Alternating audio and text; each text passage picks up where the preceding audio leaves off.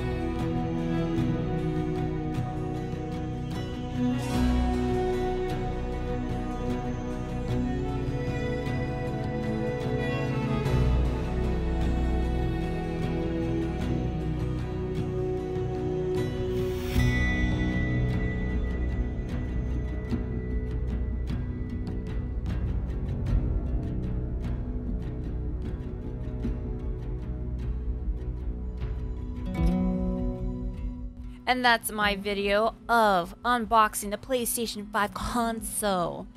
I told you I was being careful. Like the part where I was like sliding it out of the box with the bumpers connected to the console. You saw how I was like trying not to forcefully pull it out because I didn't want to have that moment where I put too much power and then I it, it, it, it, it just flies out of the box. I didn't want that to happen. I did not. And when it was finally out, the plastic on the outside where the white wings are, I was so careful with that. I did not want to put too much power or force where I accidentally snap it because it is kind of thin, but not super thin, but it's not thick where I'm like, ooh, it's dirty. No, no, no, no. That those wings did not feel like it was dirty. And you saw how I was careful with the base part, that little disc thing. Because that one also felt like if I was not careful, I could like snap it. I did not want it to snap because you have to put the console on that base. You have to. Vertical, it has to be underneath. Horizontal, it has to be underneath. And to have it laid horizontal, the base part, it has to like turn a certain way, a certain position I was turning it and I didn't want it to break.